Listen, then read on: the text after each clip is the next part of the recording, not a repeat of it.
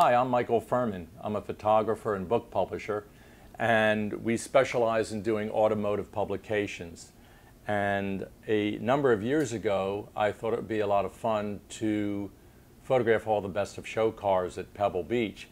In recent years, we've decided to move that from just a photographic session to something a little bit more involved because the cars are so significant, they're worthy of words to go along with the photographs.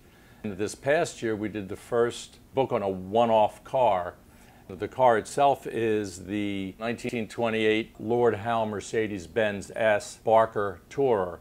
It's a very unique car with a wonderful history, and it is a very worthy winner of Pebble Beach.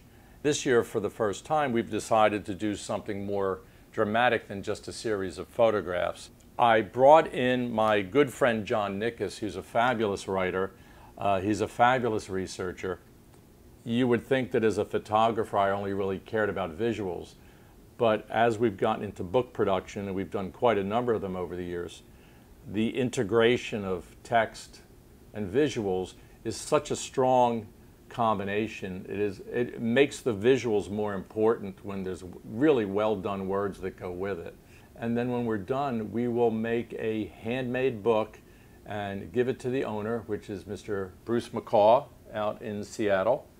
This year we may even have a little surprise for, for Bruce and how we're going to handle the book.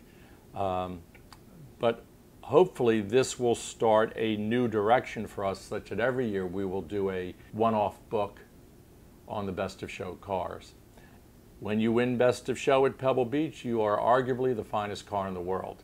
And I think you have those bragging rights for at least 365 days. This is a car that's truly worth the award that it won.